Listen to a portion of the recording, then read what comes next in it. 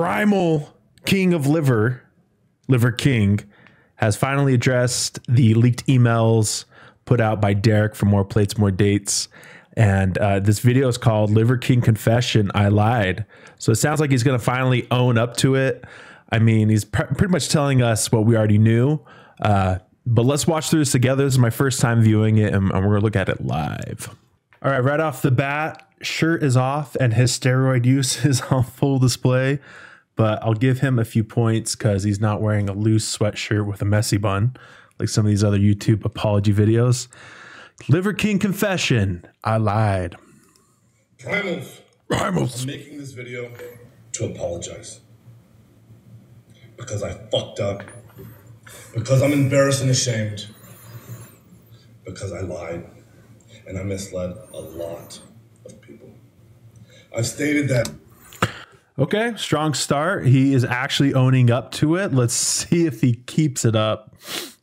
this is a complicated as fuck topic, at least to me it is, because before social media, I was rich and anonymous. And after social media, I'm still rich, but no longer anonymous. And I never expected Well, he made it 30 seconds. We just had to know that he's still rich, but not anonymous anymore. Thank you, Liver King. This kind of exposure in the public eye. It's been tricky as fuck to navigate. Clearly, I did it wrong. And I'm here now to set the record straight. Yes, I've done steroids. And yes, I am on steroids, monitored and managed by a trained hormone clinician. You're on steroids, bro? we had no idea. Liver King, the public figure, was an experiment to spread the message, to bring awareness to the 4,000 people a day who kill themselves, the 80,000 people a day that try to kill themselves. Our people are hurting at record rates with depression, autoimmune, anxiety, infertility, low ambition in life. What? What the hell? Okay. All right, let's unpack this. Let's unpack this. You're saying that Liver King, the character, was an experiment to help people who had depression and were considering suicide. Let's think of this. If you are portraying this as the male body image, the ideal body image for young men who are already not feeling great about themselves, isn't that a greater disservice to say you need to look like me? You need to look primal in order to be happy and healthy in your life. I dare say you are putting out the wrong message and you're setting unreal expectations because you're so juiced up that your eyes should be green. So I do not agree with you saying that that it's for the benefit of people who are suffering depression because you're putting out your body image like this should be what you should look like. Except no one can look like this unless they're sticking needles in their butt. Our young men are hurting the most, feeling lost, weak, and submissive. So I made it my job to Yeah, any any young man would look weak next to you, bro. Your veins are popping out. I could swim through them.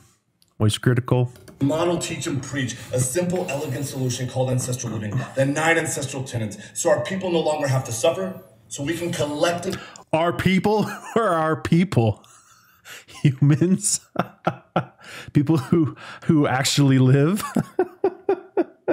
He's still pushing his program. That's okay, I don't like that. express our highest and most dominant form. This is my fight. This is why I exist. While spreading the message, I've been on several podcasts Okay, what message are you spreading? That you need to pay to buy your shitty supplements or buy your program or to follow you so you can get more ad revenue? This is not the message. Okay, this is you wanting to get money, money, money. And when asked if I've ever taken steroids, I've always said no. I don't touch this stuff. Not gonna touch this. That was a lie.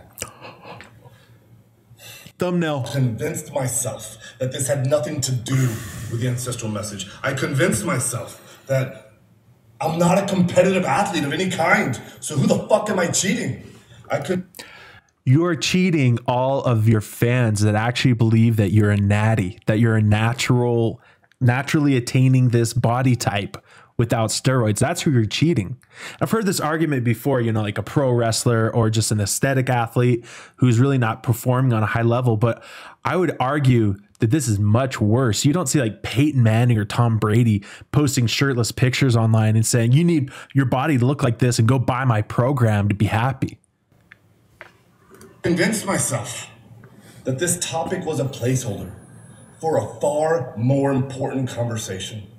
I convinced myself that this would overshadow the 36 years of working out, usually twice a day, without PEDs. Usually with PEDs. myself that this was the vocal minority, usually in the fitness category, driving to an unproductive conversation. And I had convinced myself that this would be the wrong message to send to the 15 year old boys.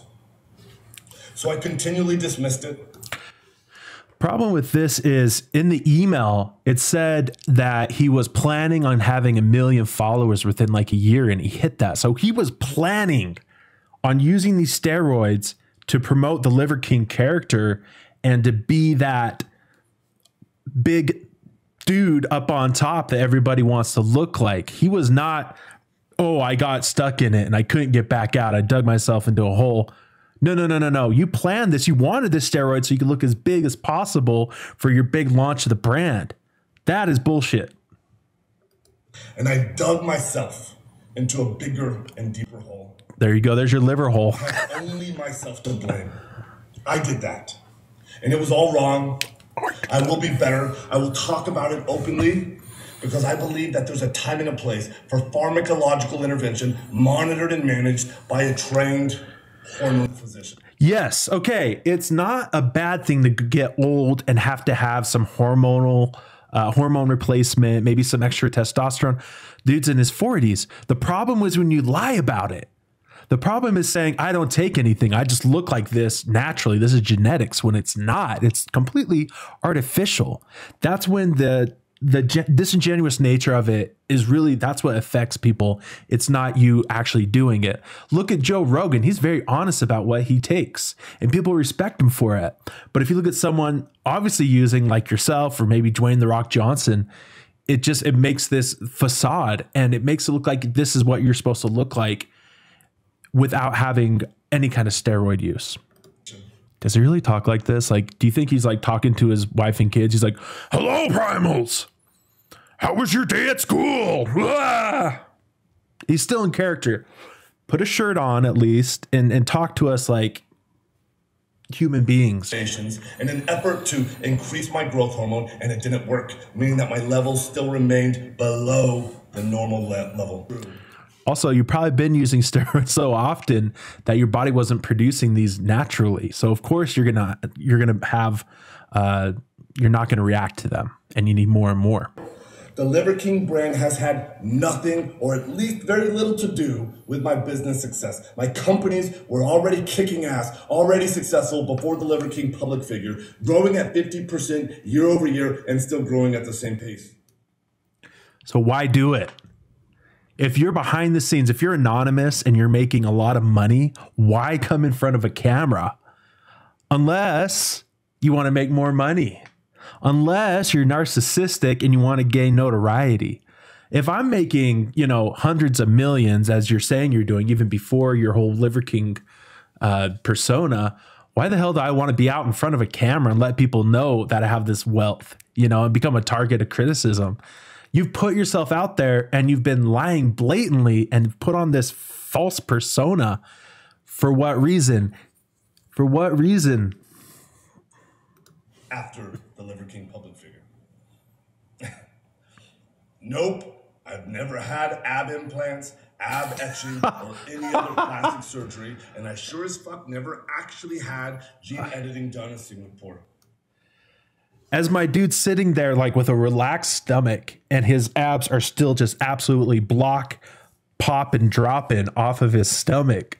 Like, there's no way. I mean, even like really shredded dudes, like competition ready, when they relax their gut, you're going to lose a lot of that definition. I mean, this guy, does he just stay hyper tense? Is he doing the demon slayer breathing technique? I made all of that up. It was all intended to be a joke, and that's an expression of ancestral 10 to 10. Have a little goddamn fun. Oh, it's a joke. It's just a joke, bro. It's just a joke, bro. Ultimately, why did I or why do I do them? I like how he's saying, I did do steroids. I have, like, oh, it's already behind us. Let's move on. when I talk about the 85% of the population that suffers from self esteem issues, that's me. I'm part of that statistic. This is why I fucking work myself to death in the gym. This is why I do 12 to 15 blood burning workouts a week.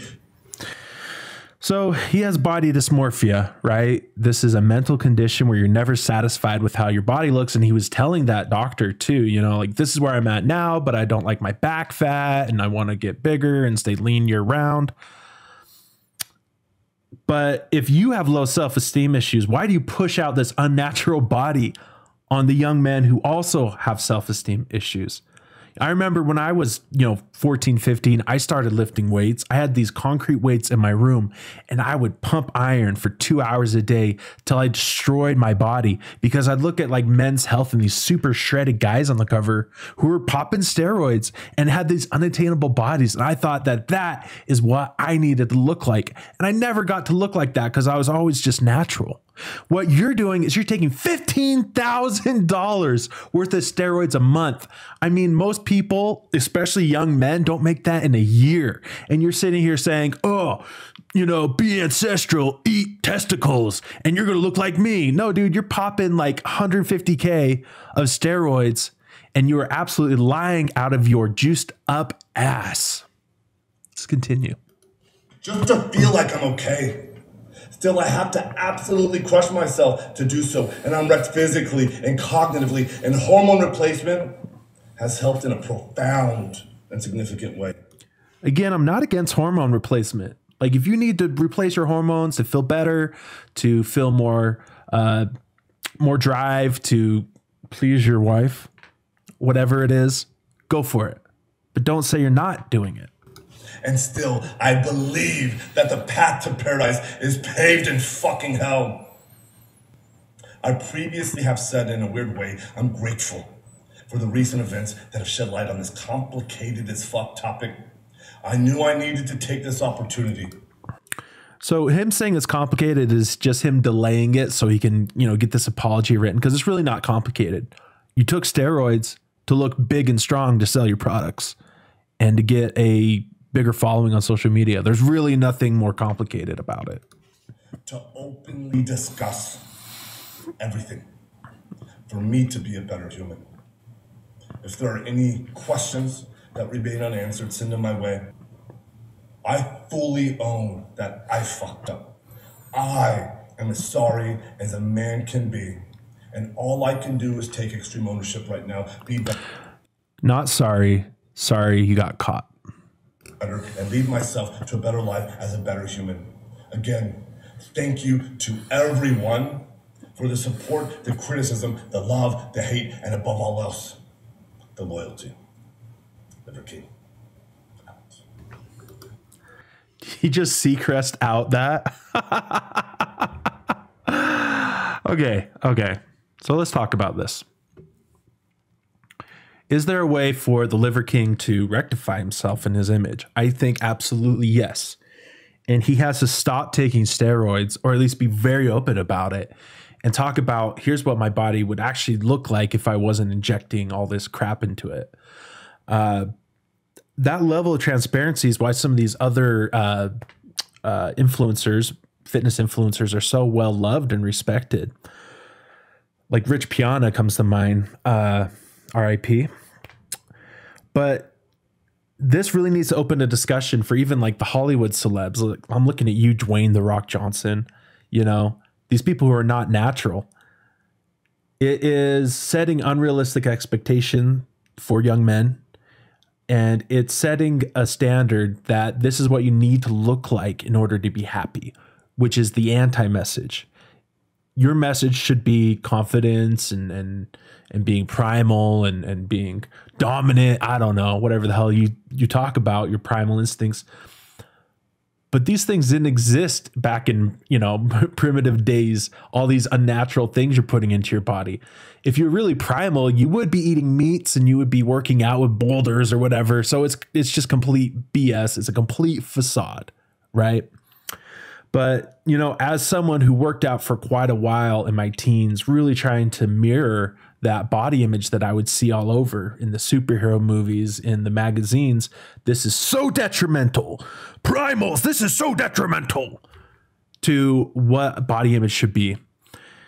Anyway, let me know what you think down below. Do you think that the Liver King is going to bounce back from this? Was this apology video enough? Is there any way around this, or is he going down faster than the Long Island Boys?